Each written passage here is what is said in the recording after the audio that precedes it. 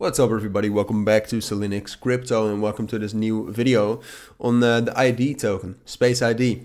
Uh, the Binance Launchpad project, if you still remember it from, um, I'm not sure when it was, like um, the 22nd of March. Well, it's actually, I thought it was longer ago, it feels longer ago, uh, that, I, uh, that I submitted a lot of BNB and only got uh, 15 cents worth of Space ID tokens.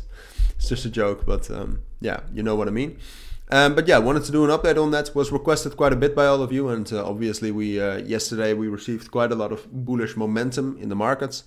And before that, ID was also doing fairly well. You could see that we um, we dropped down all the way to that 40 uh, 43 cents level.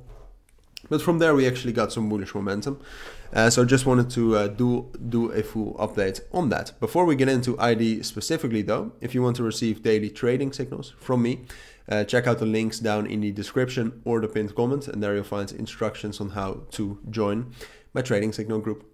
Uh, but now let's uh, let's get on with uh, Space ID. So it's um, if if you zoom out, we've just been consolidating a bit. Um, I guess you could say between 50 cents and uh, 43 cents, which is usually what happens. Uh, a lot of the times when uh, cryptos get these launchpad launches, they just consolidate and distribute. it's it's kind of a distribution phase and then after a while they will start to rally up a bit um, and um, and yeah get a rally and, and, and get reach fair value or at least fair value as uh, estimated by the market because right now I mean the market cap is, is fairly low um, if you take a look at for example hooked protocol which was also a Binance Launchpad uh, uh, project that has dropped down all the way to 90 million um, but you can also see that there it uh, it started with a distribution. Arguably, it was way shorter than this one, and then we started rallying, and then we just got back to the same levels.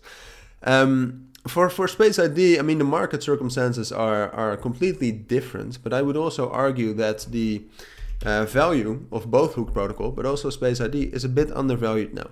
Uh, so there are definitely uh, opportunities right now, but it does depend on what Space ID will do. Uh, you can see right now on the short term, especially since last Sunday, two days ago, we started some bullish momentum and we have been respecting it. Um, obviously, we were also very much helped by the bullish momentum coming from Bitcoin. Uh, but right now, you can see that we're still respecting it. But I would say that, uh, especially this level around 47 and a half cents, actually put that on the chart real quick. That's a really important level, I would say.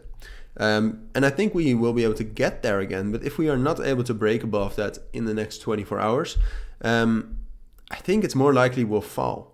Right now, I think though the most likely scenario is just looking at the technicals from Space ID's side, is that we will break above that and at least rally up to this level around 49 and 49 and a half cents. And then from there, we'll see. Technically, right now, that looks like the most likely, likely scenario for the ID token. The thing though is, and um, and that's actually the most important thing right now is that tomorrow we'll get a lot of big market moves again. We'll have the inflation rate coming out for the US. That's always a big market mover with uh, if it's higher than expected, the inflation rate, the outcome, that's bad. If it's lower than expected, that's good. So altogether, it's um, it's it's it's just waiting for that. If it's higher than expected, then we will probably not continue this rally. Uh, we might have reached this level around 47 and a half cents, but then from there we'll just drop down towards 45 and a half and 45 cents, and probably stay in that consolidation which we have been in for the last uh, week. And if it's lower than expected, we can easily break above 47 and a half cents, and as I said, rally up to 49 and a half cents as well. Uh, so it's waiting for that on the outcome. I'll still make a full video on that tomorrow as well. But for now, these are my thoughts on ID. So thank you for watching. Take care and bye.